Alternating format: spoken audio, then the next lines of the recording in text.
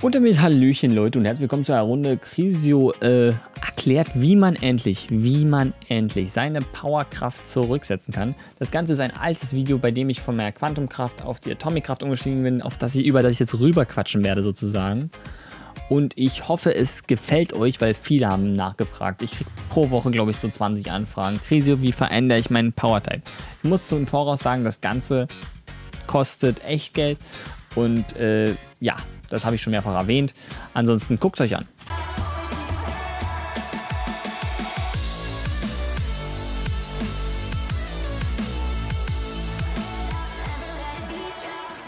So, ja, hier sehen wir schon den lieben Crisio stehen.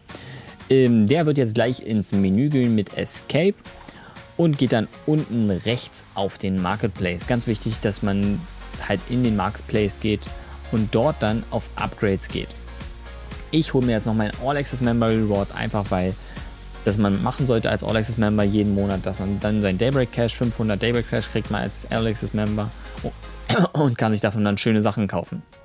Eigentlich müssen wir jetzt auf Upgrades gehen. Crisio Stock noch ein bisschen rum, weil es so Schönes im Store gibt. Sie ja vielleicht auch was anderes Schönes holen. Aber er geht jetzt gleich auf die ähm, Upgrades, genau. Und dort wählt er dann das Respect Token Power Type aus. Genau, das Ganze kostet eigentlich 1000 Daybreak Cash, für mich 900, weil ich ein All Access Member bin. Ansonsten für die, die kein All Access haben, kostet das Ganze 1000, also 10 Euro dementsprechend oder 9 Euro, wie es jetzt in meinem Fall sind. So, ja, wähle das mal bitte, Dankeschön. Ja, jetzt auf bei. Der alte Kreso ist etwas langsam gewesen, muss man dazu sagen. Ja, ja, ja, ja, kaufen. Wichtig dazu sollte man sagen, dass ähm, man dieses Respect-Token erstmal kauft und man kriegt es dann ins Inventar. Und ähm, sobald man das anwendet, hat man nicht mehr die Möglichkeit, seine alten Kräfte zu verwenden. Das finde ich immer wichtig zu erwähnen, weil viele denken dann einfach, ja, das geht nicht. Äh, ich kann jetzt noch das und das. Im Inventar ist es noch nicht schlimm, wenn ich es jetzt so gekauft habe. Dann habt ihr die Kraft noch nicht zurückgesetzt.